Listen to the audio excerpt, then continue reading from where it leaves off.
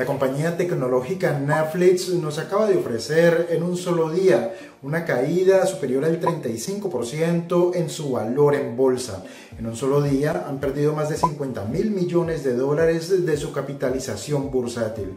Pero si hacemos los cálculos desde los máximos históricos observados en octubre del año 2021, su pérdida de capitalización bursátil ahora mismo es superior a los 200 mil millones y después de conocerse los resultados de su último informe financiero trimestral y después del conference call, el inversionista activista llamado Bill Ackman dio a conocer que su fondo de inversión había vendido todas las acciones que poseía de Netflix. Según él, porque después de conocerse los datos de su más reciente informe financiero trimestral, la tesis de inversión que había servido como fundamento para tomar la decisión de invertir en Netflix había cambiado completamente. Esto es un aspecto muy negativo de lo que ocurrió ayer y lo que haremos a continuación será realizar un repaso de los principales aspectos fundamentales que probablemente ahora mismo sirven como catalizadores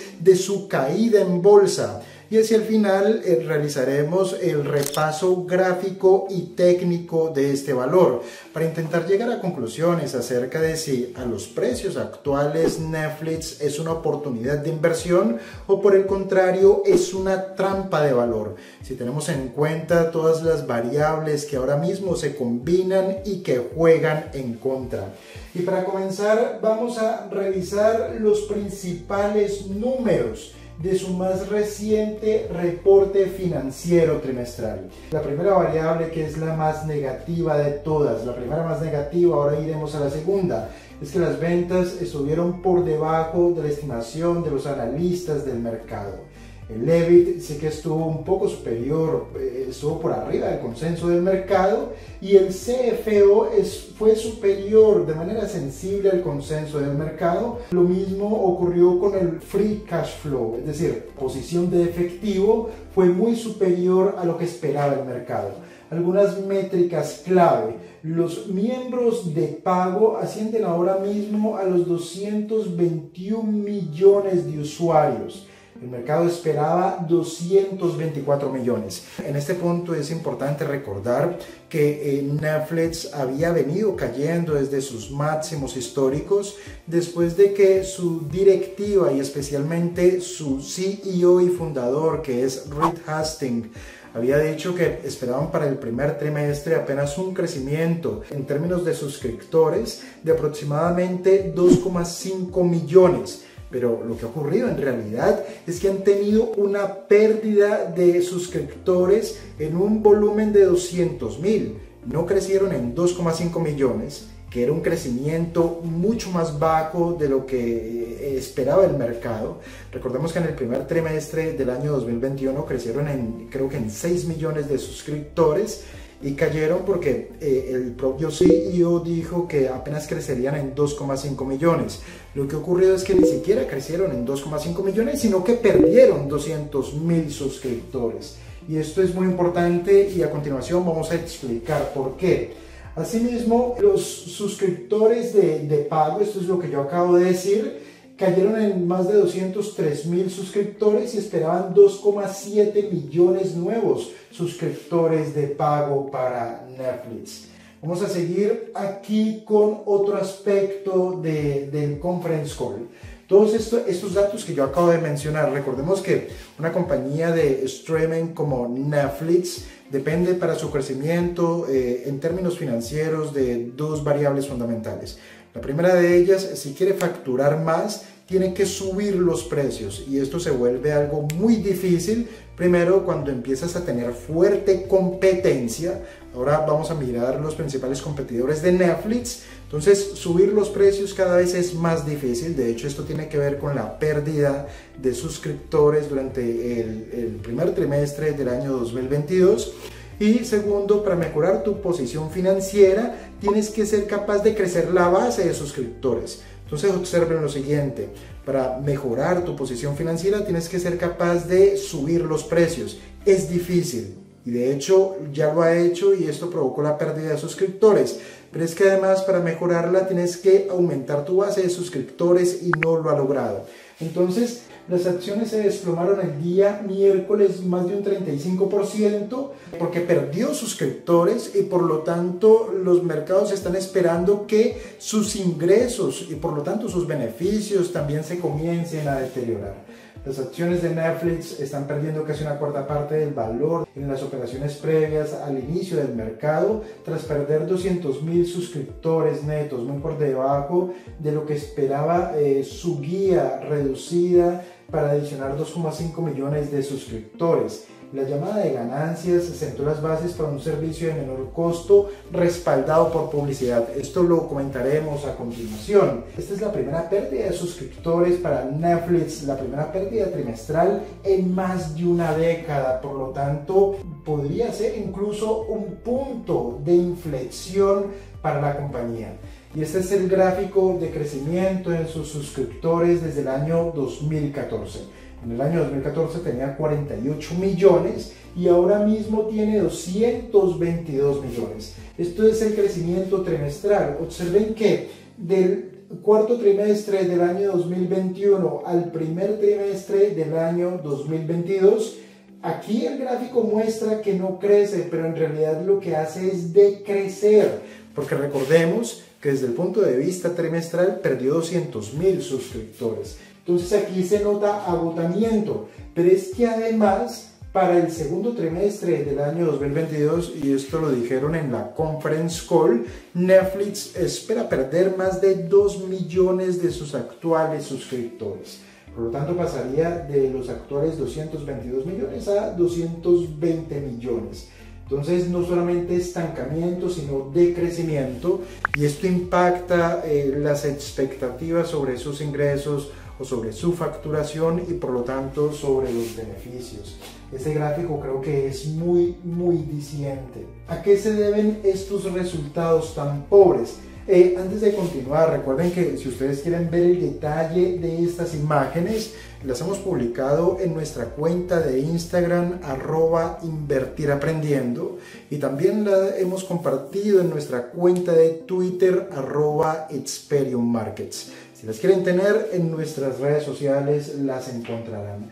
¿A qué se deben estos resultados tan pobres? El CEO de Netflix explicó en la conference call que la pérdida en el número de suscriptores se debe principalmente a estos factores. Aumento en la competencia. Ahora mismo el sector del streaming es un sector muy competido y por lo tanto, eh, lo que ocurre cuando tienes muchos competidores es que estos competidores, sobre todo los que apenas entran, empiezan a competir por precio. Y cuando empiezan a competir por precio, eh, esto obliga a reducir los márgenes y por lo tanto se reducen las expectativas sobre los beneficios futuros. El problema de Netflix es que ellos solamente viven de sus suscriptores.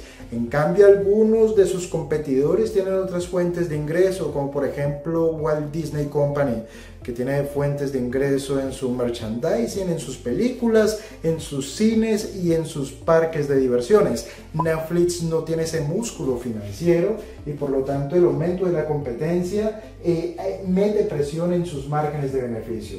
Ellos también indican que la inflación es una variable a tener en cuenta, ya que aumentan los precios generales de la economía y para ellos se vuelve más difícil aumentar el precio de sus suscripciones porque esto le mete presión financiera a sus usuarios. La otra variable es la invasión de Rusia a Ucrania. Recuerden que Netflix, al igual que otras multinacionales occidentales, tomaron la decisión de eh, ya no prestar sus servicios en Rusia. Y solamente en Rusia, que es un mercado emergente, ellos perdieron más de 700 mil suscriptores. Y esto de Rusia es parte de la explicación para haber perdido 200 mil suscriptores a escala global. Y eh, la última parte es que los usuarios comparten las cuentas. Yo creo que esto lo conocemos todos, por lo menos en mi familia. Creo que cinco casas diferentes tienen nuestra clave de Netflix. Eh, como lo veremos a continuación, la compañía estima que eh, tienen 222 millones de personas que pagan o de hogares que pagan la suscripción, pero allí hay colgados 100 millones de hogares que no pagan la suscripción y esto ocurre porque se comparten las claves de usuario. Creo que Netflix allí está viendo la oportunidad para crecer sus ingresos, creciendo la base de usuarios con una estrategia que vamos a explicar, por favor no se vayan a ir. Esto último, este, los usuarios comparten las cuentas, en este último aspecto tienen un dato muy interesante donde aseguran que en la actualidad tienen 222 millones de hogares con cuentas de pago, de los cuales estiman que se están compartiendo 100 millones de cuentas en 100 millones de hogares más. Ahora vámonos aquí a la participación de mercado. Observen que Netflix sigue siendo el líder de la industria. De hecho, de mayo del 2021 a febrero del 2022, ellos aumentaron su cuota de mercado desde el 6% hasta el 6,4%. En cambio, por ejemplo, YouTube perdió cuota de mercado al pasar del 6 al 5,7%. A continuación veremos un gráfico muy interesante, comparativo, en el cual se comparan los ingresos de YouTube con los ingresos de Netflix. Zulu se mantuvo igual año a año. Prime Video está creciendo, eh, está creciendo su, su, su torta o su participación dentro de este pastel y eh, Disney Plus está creciendo de manera importante, casi duplica su presencia en este mercado. Entonces es un sector de la economía, es un mercado muy competido y esto mete presión a sus márgenes de beneficio. Y esto es lo que les comentaba, la comparación entre las ventas de YouTube y Netflix. Recuerden que las ventas de YouTube provienen de sus ingresos por publicidad. En cambio, las ventas de Netflix provienen de sus ingresos por suscripción. Observen que para el cuarto trimestre del año 2021, las ventas de YouTube fueron superiores a las ventas o a la facturación de Netflix. Esto es muy importante porque recordemos que Netflix tiene que financiar con su propio dinero o con endeudamiento la producción de nuevo contenido. En cambio, YouTube personas como yo y otros youtubers somos los que subimos contenido a la plataforma de YouTube. Por lo tanto, YouTube no tiene que invertir en la generación o en la creación de contenido. Ellos lo que hacen es compartir las ganancias por los ingresos de publicidad. ¿Qué es yo lo que yo les quiero decir con esto? Tú puedes tener muchísimo dinero, pero no es lo mismo financiar con tu dinero la creación de nuevo contenido que tener a 500 millones de creadores de contenido subiendo nuevos videos todos los días a la plataforma para atender a distintos segmentos del mercado o a, o a distintos gustos. Y esto podría ser una gran ventaja competitiva para YouTube que eh, podría estar jugando muy en contra del crecimiento de Netflix aunque de momento no entendería a YouTube como una competencia directa de Netflix. Recordemos que eh, la moneda de oro en la era moderna es la atención. ¿Cuánta atención prestan nuestros potenciales usuarios a nuestra marca, a nuestros productos y a nuestros servicios? La gente anda muy ocupada y la gente va a toda prisa, la gente no tiene tiempo, por lo cual lo que las marcas y lo que las compañías hacen es desarrollar estrategias para capturar esa atención, porque allí es donde está el dinero.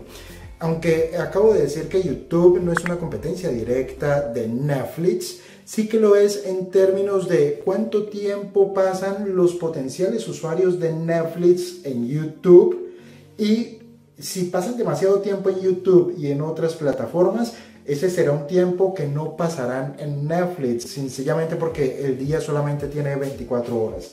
Es un análisis que hay que hacer, no es competencia directa, pero en relación al tiempo que pasan los usuarios en cada una de estas plataformas, creo que es algo importante eh, para tener en cuenta. Ahora hay una cuestión bien interesante y era lo que comentábamos anteriormente. Este tipo de compañías solamente pueden crecer vía crecimiento de los usuarios. Es algo que no se está logrando. De hecho, perdió usuarios en el último informe financiero trimestral. Perdió más de 200 mil suscriptores de pago. y también pueden crecer vía aumento en los precios de esa suscripción. Podría estar pasando que eh, es difícil subir los precios de la suscripción de Netflix por el entorno inflacionario que todos ahora mismo conocemos y, que probablemente a todos nos está perjudicando. Y también podría estar ocurriendo que los usuarios actuales de Netflix o incluso los potenciales están observando que existe una relación precio-beneficio que no les compensa.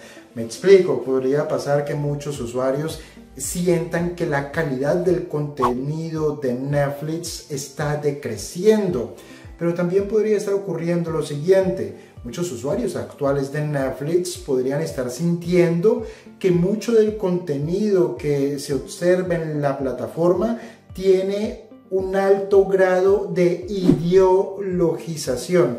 Espero haberlo dicho bien.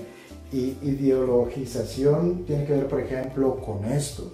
Yo esto no lo he visto en mi cuenta de Netflix, pero donde lo llegue a ver, la cancelo. ¿Por qué? Hablo por mí, pero creo que hablaría por muchas otras personas. Nosotros no pagamos para ver cosas raras. Es decir, yo no pago para que alguien me venda su idea del mundo.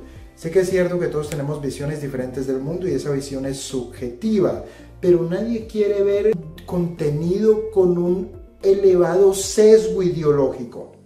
Por ejemplo, en este caso, podríamos eh, estar viendo muchísimo contenido en Netflix con un elevado sesgo ideológico.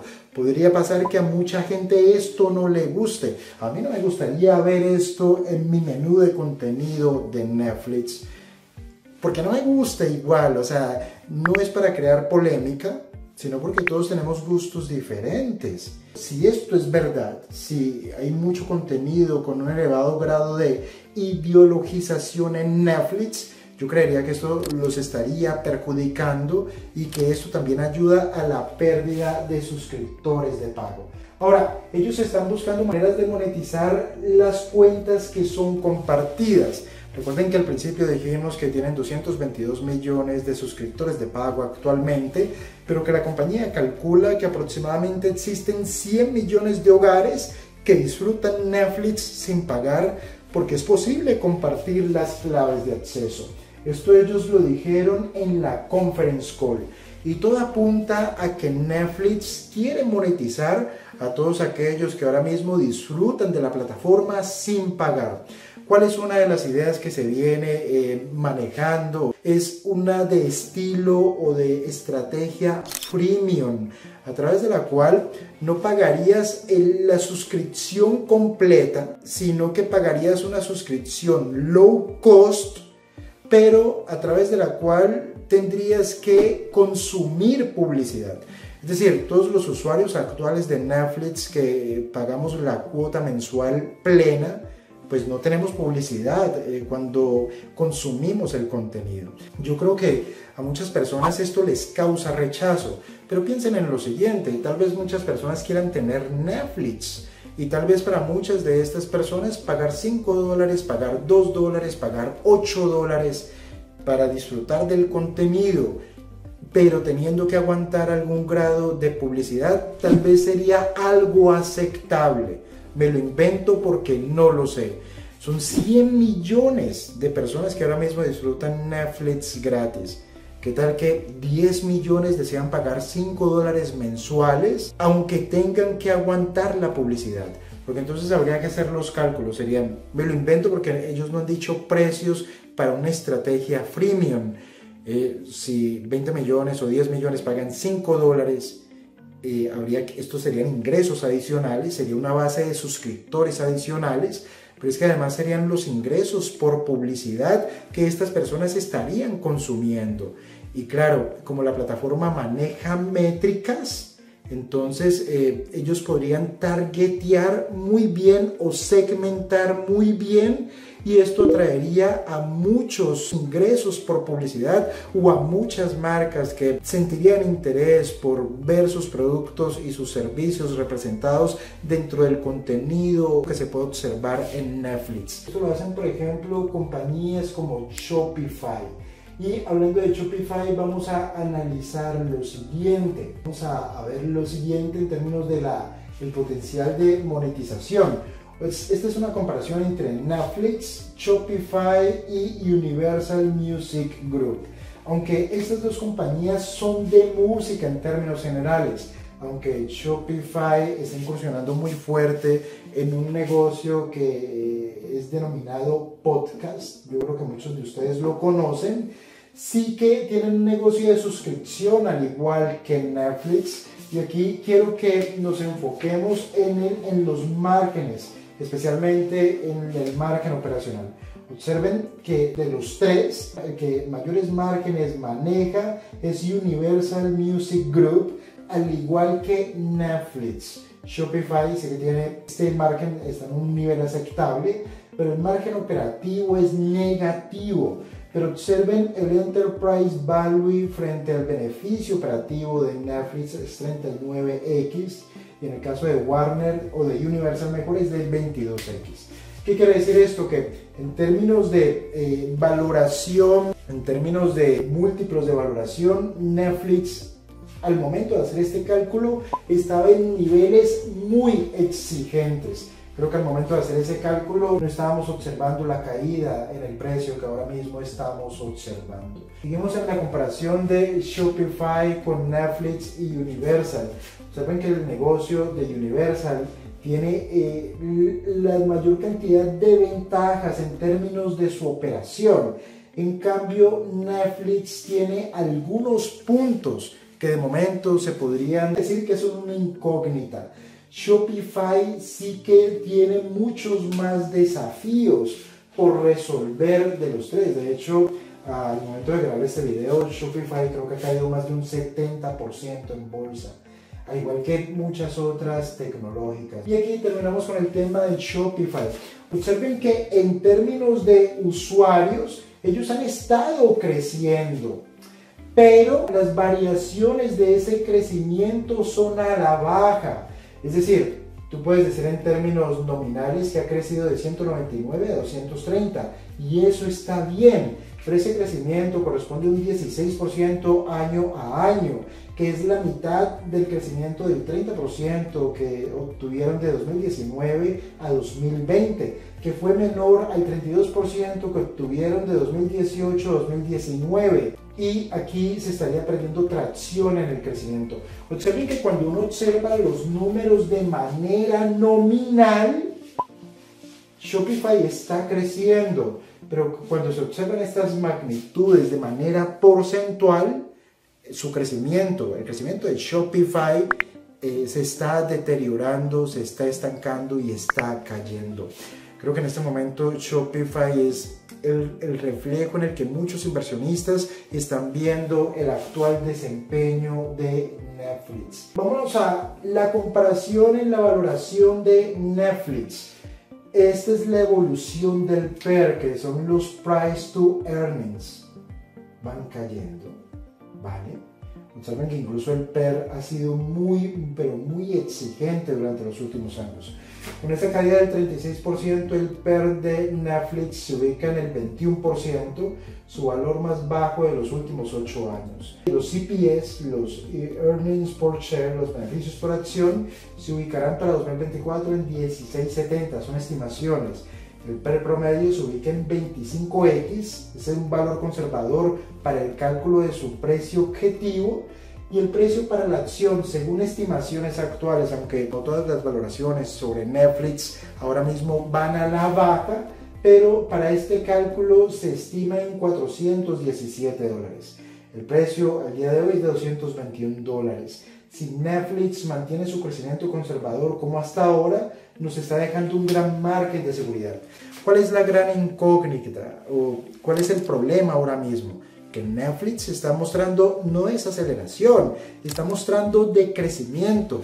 Si cae su actual número de suscriptores, caen sus ingresos. El problema de Netflix es que tiene un elevado endeudamiento y aquí cuando una, una compañía está apalancada, esto sí que se convierte en un problema. Esta es la carta que publicó ayer Bill Ackman, el CEO de, de su fondo de inversión Berkshire Square. Él lo que dice en esta carta es que venden sus acciones de Netflix porque con los últimos resultados financieros trimestrales esos resultados cambian totalmente sus valoraciones y cambian totalmente su tesis de inversión. Según su tesis de inversión, eh, Netflix sería capaz de mantener su crecimiento y ha sido desde su punto de vista totalmente sorpresivo que tuviesen una pérdida neta de suscriptores. Aquí yo creo que hay que tener en cuenta varias cuestiones y por esto comento a Bill Ackman.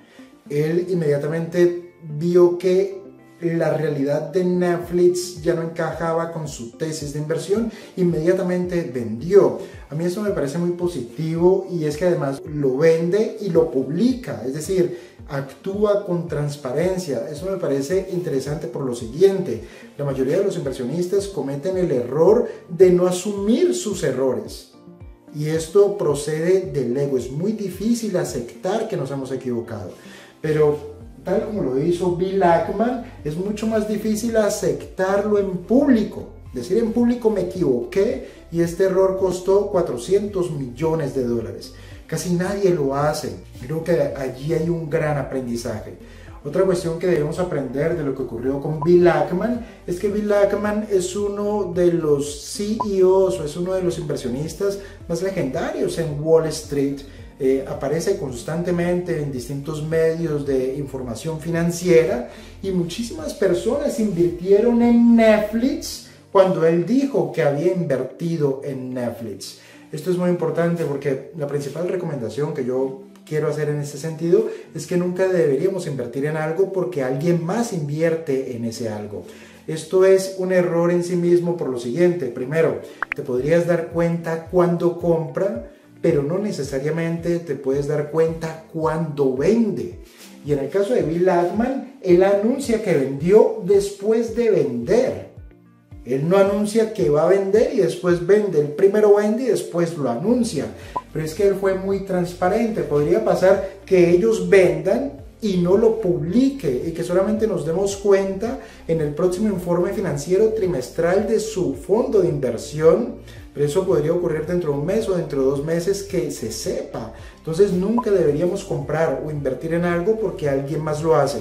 Porque primero, te podrás dar cuenta cuando compra, pero no cuando vende. Segundo, las mismas inversiones no funcionan para todo el mundo. ¿Por qué? Porque todos tenemos distintos perfiles de riesgo y todos tenemos una situación financiera diferente. ¿Qué quiere decir esto? Que muchas personas podrían haber invertido en Netflix sin ni siquiera saber a qué se dedica el negocio o cuáles son los desafíos que está enfrentando. Y solamente compraron sus acciones porque Bill Ackman las compró. Pero vuelvo y lo repito, no todas las mismas inversiones no funcionan igual de bien para todo el mundo, porque todos tenemos perfiles de riesgo diferente y esto nos lleva a la situación en la que todos debemos realizar nuestro propio análisis e invertir en aquellos activos que estén fuertemente correlacionados con nuestro perfil de riesgo, que nosotros entendamos en qué consiste su negocio y con nosotros entendamos claramente cuáles son los riesgos que estamos asumiendo. Yo creo que con lo que ocurrió con Bill Ackman hay muchísimas cosas interesantes por aprender. Vamos a aquí a mirar algo de la composición de los usuarios. El mercado en los Estados Unidos está maduro el mercado en Europa todavía tiene espacio para crecer, pero yo me atrevería a decir que todavía está maduro y solamente tiene espacio para crecer de manera importante en Latinoamérica y en Asia. El problema de Latinoamérica es que son mercados que tienen economía sumergida y es difícil crecer en mercados emergentes, es muy difícil. Además porque tus ingresos, tus ingresos como empresa están expuestos a la volatilidad del tipo de cambio. Entonces es muy difícil. En términos generales, yo quiero rematar este video diciendo lo siguiente. Miren, uno de los problemas de eh, Netflix es que ellos están en un sector muy competido. Entonces tienen que empezar a competir por precios, reduciendo precios, ni siquiera para crecer, sino para mantenerse. De hecho, ellos subieron precios en los Estados Unidos y en Canadá y entre Estados Unidos y en Canadá perdieron 700 mil suscriptores por subir los precios de suscripción. Estos 700 mil se suman a los 700 mil de Rusia y ya van 1.400.000. Entre sumas y restas perdieron eh, en el entorno global 200 mil suscriptores. Entonces lo primero es estar en un sector muy competido. Para competir tienen que lanzar muchísimo contenido y además aumentar la calidad de este contenido. Ni siquiera para crecer su base de suscriptores, sino para mantenerse. El problema de tener que estar constantemente renovando su catálogo de contenido y de aumentar la calidad es que tienen que invertir muchísimo dinero, por lo cual su negocio es intensivo en capital. Cuando se analizan los números de Netflix, nos damos cuenta que tienen un elevado apalancamiento operativo, es decir, tienen un elevado endeudamiento. Esto es un problema si estamos en un entorno de elevada inflación en el cual suben los tipos de interés. Si suben los tipos de interés, entonces sube el coste de capital de tu apalancamiento y esto por lo tanto impacta de manera negativa eh, a tus beneficios futuros, que es ahora mismo lo que están descontando también los mercados. Para que lo entiendan un poco mejor en términos de apalancamiento operativo, imaginemos un camión de carga y este camión de carga tiene que ir del punto A hasta el punto B, tiene que hacer una ruta. Sus costos de operación para ir del punto A al punto B, estos costos de operación son fijos. Y entonces no será lo mismo llevar una carga que llevar siete cargas. Si llevas una carga sobre lo que cobres por llevar esta carga, diluirás tus costes de operación. Pero si llevas siete cargas, diluirás entre siete tus costes de operación. ¿Por qué es importante esto? Porque las compañías growth o tecnológicas lo que hacen es, sobre todo al principio, invertir muchísimo en infraestructura porque quieren ganar escala. ¿Qué es ganar escala? Que con la misma infraestructura eres capaz de atender a 100 millones de clientes que a 1000 millones de clientes. A medida que aumentas la escala, diluyes tus costes fijos, no tanto tus costes variables. El hecho es que es un problema cuando, cuando tú inviertes mucho en CAPEX, que es infraestructura. Fíjense, cuando una compañía invierte muchísimo en CAPEX, que es eh, inmovilizado y que es capital físico, eh, cuando inviertes muchísimo en CAPEX, en el presente estás sacrificando beneficios y estos beneficios los estás trasladando al futuro. Un futuro que no sabemos cuándo será ese futuro. Pero el hecho es que construyes escala, construyes infraestructura sacrificando beneficios presentes. Pero si construyendo o habiendo construido esa infraestructura, en lugar de seguir creciendo, comienzas a decrecer, te comienzas a quedar con un elefante blanco. Y para construir ese elefante blanco, es decir, esa infraestructura, al haber invertido todo este CAPEX, para lo cual tuviste que sacrificar beneficios presentes, si habiendo invertido tanto dinero en construir esa infraestructura, en lugar de seguir creciendo, comienzas a decrecer, te comienzas a quedar con la infraestructura, es decir, con los costes, y a medida que vayas perdiendo usuarios, tu coste de operación por usuario o por suscriptor cada vez es mayor, pierdes rentabilidad y cada vez eres más vulnerable desde el punto de vista financiero.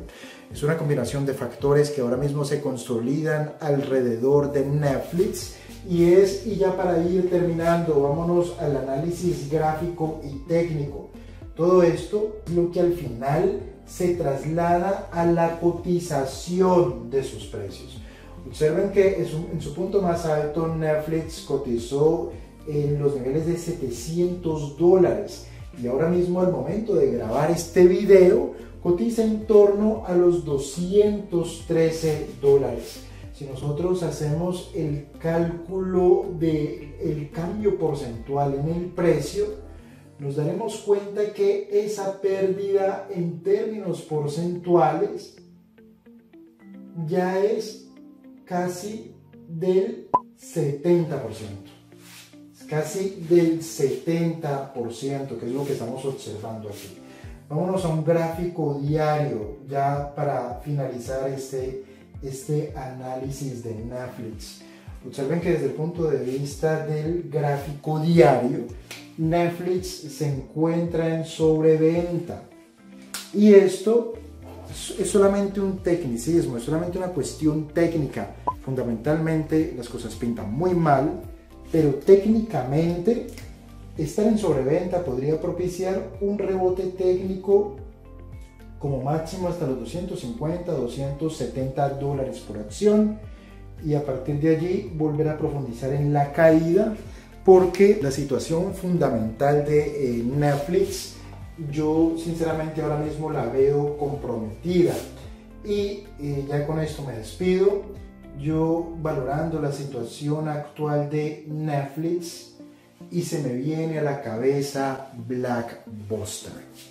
Netflix, recuerden que fue quien sacó del negocio a Blackbuster. Hay un libro donde se cuenta la biografía de uno de los fundadores de Netflix. Cuando editan el video lo voy a colocar aquí, o mejor aún, con ustedes voy a mover un poco eh, la cámara y voy a buscar con ustedes aquí, voy a buscar el libro, porque no quiero que, que se nos quede. El libro es este. Eso nunca funcionará. Es la legendaria frase que le dijo la esposa de Mark Randolph, que es uno de los fundadores de Netflix. Le dijo eso nunca funcionará cuando él le comentó la idea de fundar Netflix junto a Reid Hastings, que es su actual CEO con la idea de Netflix, ellos sacaron del negocio a Blackbuster. Y es legendaria esa reunión de Reed Hastings con los directivos de Blackbuster cuando ellos le querían vender Netflix a Blackbuster por 50 millones de dólares y la gente de Blackbuster los sacó corriendo de la sala de juntas, es decir, los echó a patadas y después Netflix se comió con patatas a Blackbuster. Blackbuster por el cambio tecnológico por el tipo de negocio que ellos tenían, que era offline. La gente empezó a consumir contenido de manera online. Blackbuster entró en decadencia, pero que se quedó con la infraestructura, que es el CAPEX. Se reduce tu base de clientes y los costes ya no se diluyen, pero tienes la deuda con la cual financiaste esa infraestructura. No quiero decir que sea la misma situación, pero me recuerda a Blackbuster. Si este video te parece de valor, déjanos un gran me gusta, discúlpanos si me demoré demasiado. Si no te has suscrito a nuestro canal, por favor considera suscribirte y comparte ese video en todas tus redes sociales. Si tienen preguntas sobre esto, aquí debajo dejo un link, me las envíen e intentaremos responder todas las que podamos. Antes de despedirme, eh, recuerda realizar nuestro curso gratis de bolsa. Te dejaré el link aquí debajo. Un abrazo y hasta pronto.